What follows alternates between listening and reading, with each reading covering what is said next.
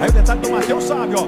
Pra partir pra cima do Luiz Ricardo, ele pedalou, puxou pra direita, bateu no alto.